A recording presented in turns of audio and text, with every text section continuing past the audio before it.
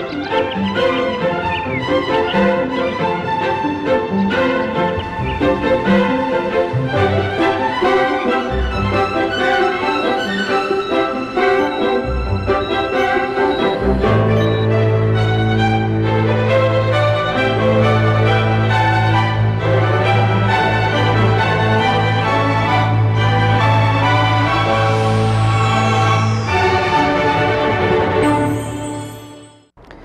的观众朋友，大家好，欢迎您收看《大爱一心观》。我们看的这样子，好像有一点点这个宇宙洪荒的味道，或者是卫星绕行的轨道的这样的一个痕迹啊，在这样的一个呃球体上面呃来进行。然后我们再稍微弄呃大一点，呃没有放大那么大，来小一点来看的时候，这到底是什么东西啊？这我们人呃我们的这个脑部组织啊，所以上面这只是颠倒来看的这个状况，这个上面这个是我们的大脑。那么底下这个地方啊，这就是小脑。所以刚刚看到小脑这样的一个情形啊，小脑它的一个为什么会有这么多的一个呃外部的这样的一个痕迹啊？最主要因为它神经的密度事实上比大脑还要来的高的，也就是这里面有很多很多的一个神经系统在我们的小脑里面，神经的一个细胞在小脑里面，这样才有办法。把大脑来的一个讯息啊，在小脑这个地方啊做一些整理，那尤其是运动相关的一个讯息，整理以后才有办法再往底下这个脑干啊，往底下脊呃颈部脊椎这个地方传送过去。这样的话，我们的一个动作才有办法非常的一个协调性做得好的一个状况。所以任何一个事情不要大家小看，我要去拿一个杯子，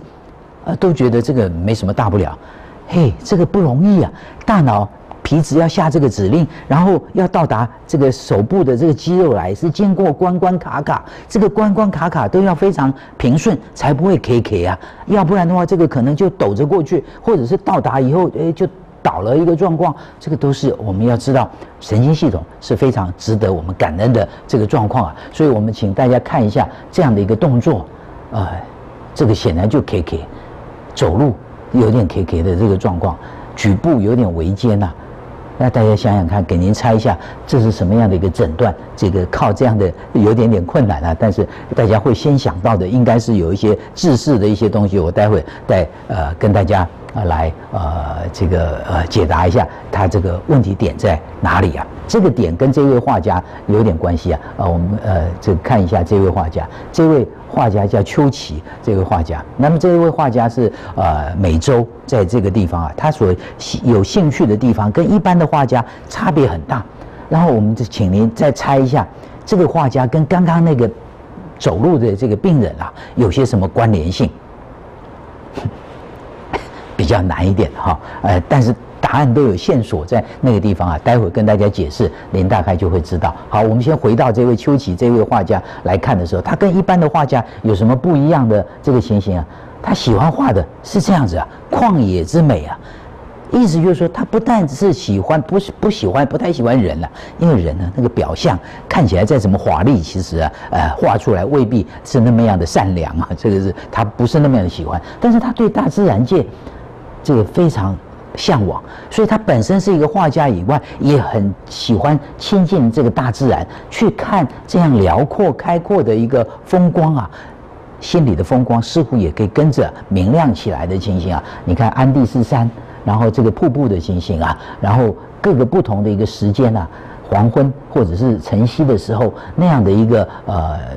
山里面的云雾缭绕啊。这个看起来的一个呃树影啊等等的一个情形的时候，又有不同的一个风貌，然后再到另外一个地方的时候，再加上那个云层的呃密布的一个状况之下，又把红色的那样的一个视觉的一个强化，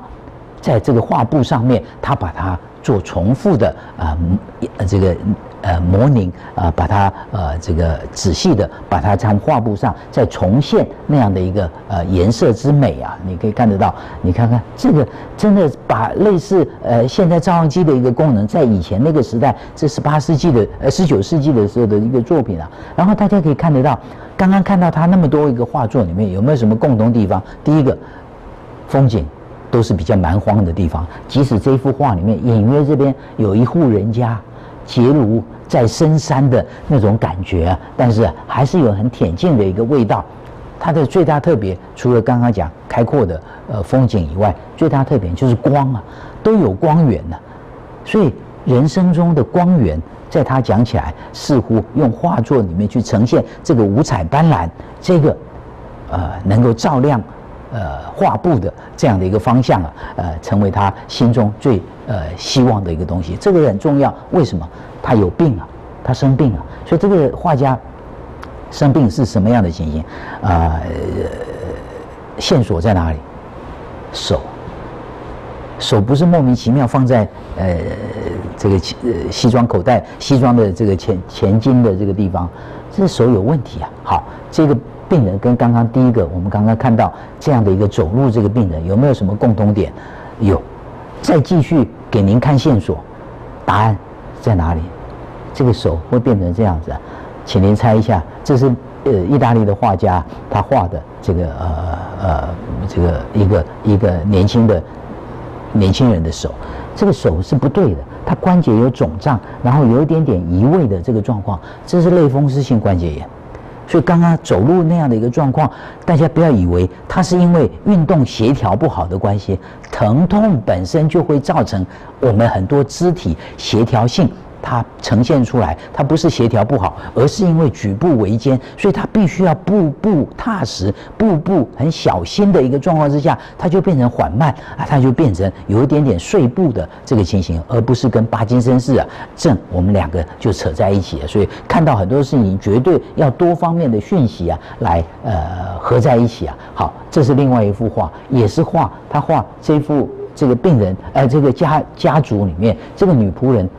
的手，大家也可以可以看得到，这个变形的手，这个变形的手就是类风湿性关节炎的手。这在西方世界里面，其实比我们呃华人世界里面要多得多啊。所以从早期的画作里面就有它的一个影像存在。手一开始的时候还好，肿胀疼痛，但是慢慢的这个关节这个地方啊会发生变化。它关节发生变化的点是以这个手指跟我们手掌交界的这个关节啊。一开始，呃，比较一开始会发生这样的一个变化出来，所以肿胀、疼痛，然后进一步的一个检查的话，临床的医师就会去看，你可以看得到这个局部这个地方啊，呃，比较肿胀，然后这个关节事实上它的一个活动力啊、灵活度也受到影响，呃，这个情形啊，然后他手部在更严重一点的这个变形的状况下，大家可以看到他的手手指头是歪向了一边去啊。所以要去做什么样的动作的时候，这是非常辛苦。然后刚刚可以看到这个病人，他颈椎也有带着颈圈呢，表示这个类风湿性关节，它可能影响的不只是手部的关节，它也会影响到颈椎的椎脊椎的这个关节，而脊椎的关节更进一步造成神经的压迫的时候，这些动作当然也更加的。呃，有些的困难会产生出来。这个诊断上可以透过超音波，不是大家想到就是抽血。局部临床上超音波的这个情形，也可以看到它的软组织里面受到发炎破坏的一个状况是怎么样子，或者是追踪来看看药物治疗的效果。超音波也是一个非常重要的一个帮忙，不只是手，不只是颈椎、脚部。也是可能会产生出这样的一个变化出来。那现在的曙光啊，到底是什么？其实这曙光已经有好几年，只是越来越看到更多的一个希望，就是某一些可以针对这些发炎分子的这种标靶治疗啊。意思就是说，它基本上是一个发炎反应啊。这个发炎反应透过血管，所以到身上很多的地方去啊。那我们如果能够把这个发炎的抗发炎的分子分子啊。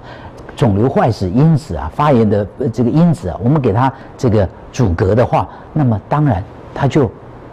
比较不会引起发炎了，也就比较不会引起全身性的反应，包括膝关节啊啊，这个也是会影响，不得不还要做人工膝关节，肾脏也是，甚至于心包膜、肺部都是为什么？因为血管。无所不在啊，所以发炎反应也会跟着无所不在。那以前就只能症状治疗，现在呢有这么好的这个标靶治疗，其实健保也有很多可以给付的这个状况，这是呃非常呃从画作上就可以看得到那么长的历史以来，